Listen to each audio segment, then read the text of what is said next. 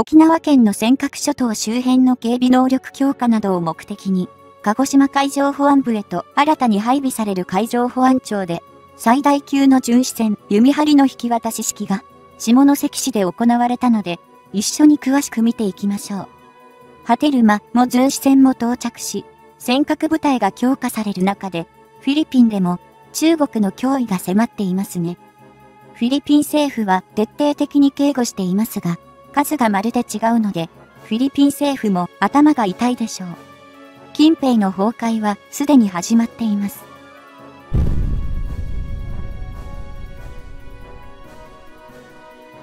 この巡視船、弓張りの引き渡し式には、海上保安庁や船を建造した三菱造船の関係者など含む約80人が出席し、はじめに、船の引き渡し書と受領書の授受式が行われた。引き渡し式においては、建造した三菱造船の北村徹社長から、海上保安庁の瀬口義雄次長に、引き渡し書が正式に譲渡された。それを受けた瀬口次長は、引き渡し式に臨んだ乗組員に対して、我が国の周辺海域をめぐる情勢が緊迫化する中で、我々に課せられた任務の重要性を改めて認識すると同時に、各人が研鑽に努めてほしいと、石井昌平長官の訓示を代読した。弓張は、全長およそ140メートル、総重量およそ6000トンと海上保安庁の中でも最大級の巡視船で、ヘリコプターを2機搭載し、機関砲や夜間でも、他の船の動向を把握できる暮らしカメラなどが備えられている。昨年の12月に政府が策定した海上保安能力強化に関する方針を受けて、今年度中に鹿児島海上保安部に配備される予定で、尖閣諸島周辺の海域の警備や海上での遭難者の救助、それに周辺諸国による不法的犯罪の取り締まりなどにあたる。今回、新たに就任した弓張りの堀井和也船長は、尖閣海域における中国海峡局の艦船や外国漁船の領海侵入などに対し、的確かつ迅速に対応できるように乗組員一丸となって対処していきたいと意気込みを語った。弓張りの建造費は約175億円とされているが、実を言うと、中国海峡局は、日本漁船が操業しない限り領海侵入してくることはほとんどありません。石垣から 170km も離れた尖閣周辺で操業するのは、尖閣で得れる水産物を商標登録し、石垣市のふるさと納税の返礼品として買い上げさせている仲間市議と、それに協力している漁船数隻だけである。どうやら、その仲間市議は、尖閣の名で食堂経営までしているらしく、尖閣諸島周辺の海域で採れた高級魚赤町の定食を味わうことができる。いよいよ、尖閣食堂が12月2日、石垣市のカラオケ居酒屋ドームでオープンすることになった。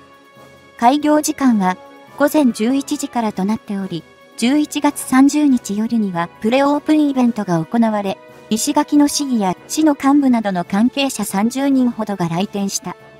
赤町の煮付けや刺身、寿司に舌包みを打ったとされている。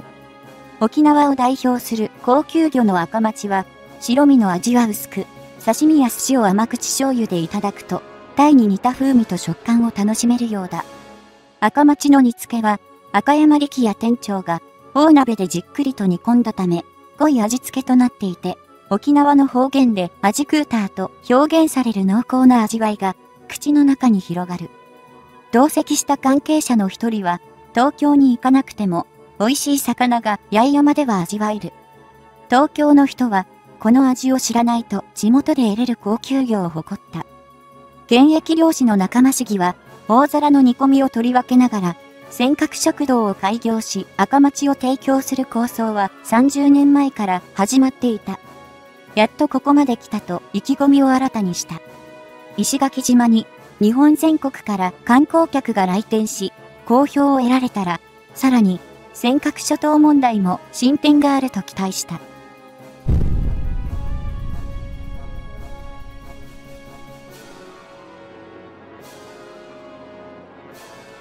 この仲間市議は、石垣市議会議員を7期も務めており、尖閣諸島を守る会の代表世話人でもある。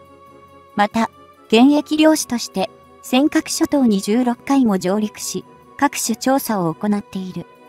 彼は、1996年に尖閣諸島魚釣島に上陸した際、1945年に起きた尖閣列島戦時遭難事件の犠牲者の可能性がある遺骨を石積みの下に発見した。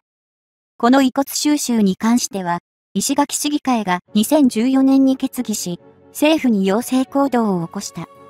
仲間市議は、尖閣諸島の領海内で、海上保安庁と中国海峡局が至近距離で睨み合う動画を公開したことでも知られていて、彼は、尖閣諸島の問題に対して熱心に取り組んでおり、その活動は多くの人々に注目されている。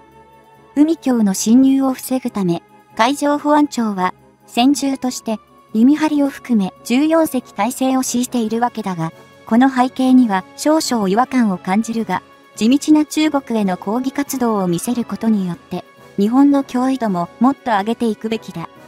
日本の領土でもあり領海でもある尖閣諸島海域において、我が国民が政治的主張であれ、純粋な領であれ、いちいち中国共産党に干渉される言、我はないと強く主張していかなければならない。八重山漁協所属の漁船、鶴丸は、2ヶ月前の10月16と17の両日、石垣市の尖閣諸島周辺に出漁したことをめぐり、中国海峡局は、自国内の短文投稿サイト、ビヒロシ、ウェイボーで鶴丸を名指しし、巡視船とともに中国領海に侵入したと発表した。鶴丸に対して必要な措置を講じ、退去するように警告したとしている。鶴丸に乗船した石垣市議の仲間氏は、同月19日、八重山日報の取材に応じ、中国は嘘を根拠に尖閣を乗っ取ろうとしていると反論した。中国海峡局は7月にも尖閣海域に出漁した別の漁船を名指しし、中国領海に侵入したと発表していた。このように漁船名を明らかにすることで、尖閣周辺に出漁しようとする漁業者の萎縮を狙っているのだろう。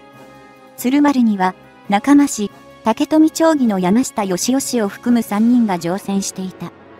彼らは、石垣島を出港し、10月16日午後1時頃、尖閣諸島の南小島周辺に到着した。尖閣周辺で常駐している中国海峡局の艦船2隻は、領海に侵入して鶴丸を追ったが、大きく距離を取ったままで、近づく素振りを見せなかったらしい。仲間らは、高級魚の赤町など約150キロを水揚げした後、船上で一泊し、17日午後、石垣島に戻った。中国海峡局の艦船は、魚釣島と石垣島の中間地点まで鶴丸を追尾したとされている。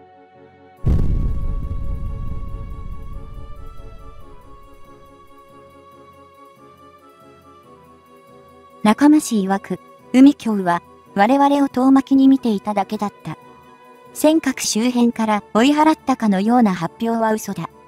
南シナ海とは違い、尖閣周辺では、まだ日本の力が強く、漁船に手出しができないのではないかということを推測した。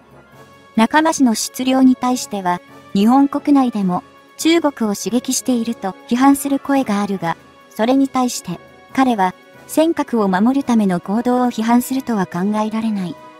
自分たちの国をどう守るか、しっかり考えるべきだと強調した。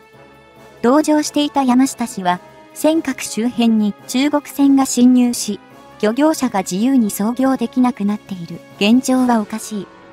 竹富町で尖閣に関する話は議会でもなかなか出ないが、町民ももっと意識を持つ必要があると述べ、今後も仲間氏と共に尖閣周辺への出漁を続ける考えを示した。これが政治的主張だとしても、中国共産党が虎視眈々と奪おうとする尖閣諸島へのストーカー行為に対する怒りと危機感への愛国心から着起される抗議行動である。